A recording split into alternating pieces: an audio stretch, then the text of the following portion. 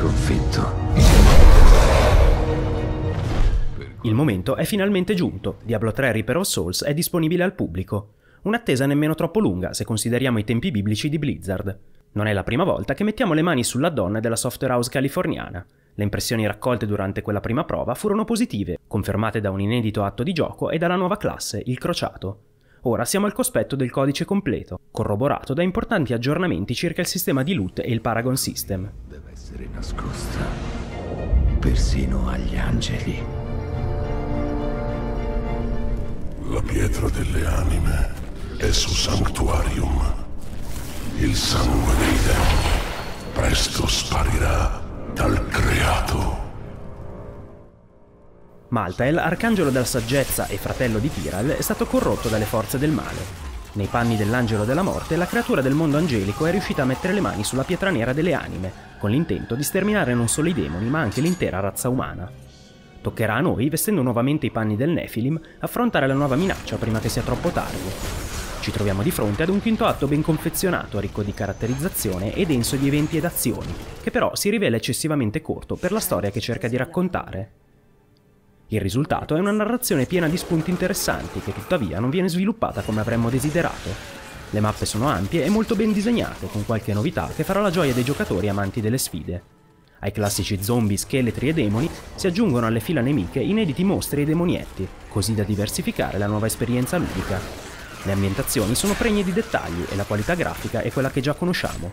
Le side mission sono numerose e ben implementate, capaci di rendere il gioco vario e divertente. La longevità del quinto atto si attesta intorno alle 4 ore, variando a seconda dell'approccio e del livello di difficoltà selezionato. A questo si aggiunge un discreto fattore rigiocabilità, unito alla modalità avventura e all'incremento del level cap, che passa da 60 a 70.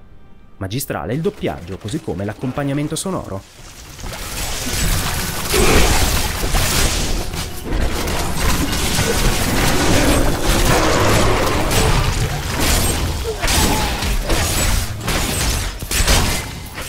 Assieme al quinto atto della campagna, il crociato è senza dubbio la più importante novità di questa espansione.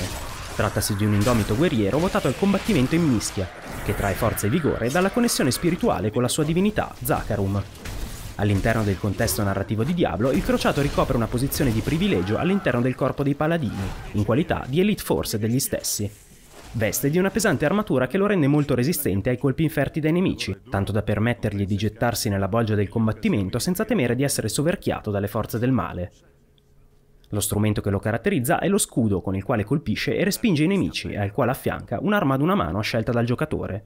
Nonostante i piccoli miglioramenti apportati alla classe dall'ultima volta che ci abbiamo messo le mani sopra, il crociato resta una delle classi più forti e resistenti del gioco. In qualità di combattente in mischia è particolarmente adatto al giocatore alle prime armi, mentre le abilità attive e passive dei livelli avanzati ne fanno un'ottima scelta per il giocatore esperto. Che sfortuna, eh?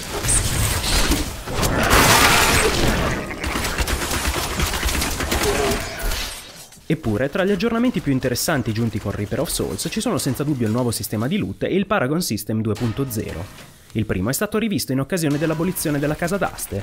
In ultimo arriva l'Adventure Mode, che permette a un gruppo di esplorare liberamente la mappa di gioco, completando incarichi speciali e farmando a più non posso. La nuova modalità si rivela un ottimo passatempo, sebbene non offra del vero contenuto di gioco alternativo, ma solo un diverso approccio con interessanti ricompense in premio.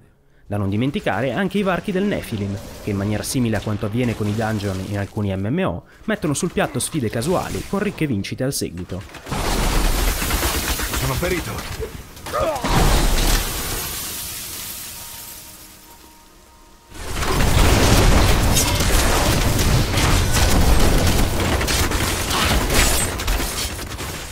Pur privo della componente massiva, il titolo di Blizzard assume una deriva ancora più vicina ai grandi RPG online, grazie all'ottimo bilanciamento dei drop, al nuovo sistema di loot, alla forgia del mistico e ad una modalità avventura che arricchisce il tutto.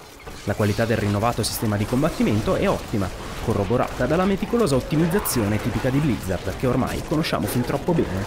Volgendo uno sguardo al passato, tuttavia, in particolare a Diablo 2 e Lord of Destruction, non possiamo che rimuginare sulla longevità del titolo, sia a causa di un atto fin troppo rapido, sia per la presenza di una sola classe.